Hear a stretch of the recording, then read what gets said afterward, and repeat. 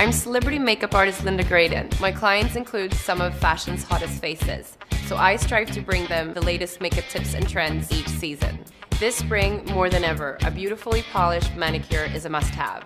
On the runways, two tone manicures emerged as a key trend. Graphics, a reinterpretation of the traditional French manicure, are one of my favorite looks. They're a daring departure from your basic manicure, but still sophisticated and elegant.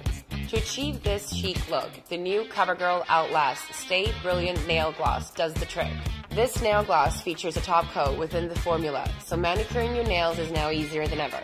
Select two opposing shades of color and apply the darker shade over the nail. Next, using a delicate brush, apply your design using the lighter shade. I love swirls, a half moon, or a V shape for a colorful contrast.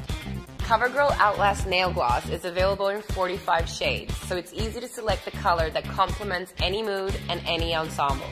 Plus, with the built-in top coat, your gorgeous glossy color will stay brilliant all week long.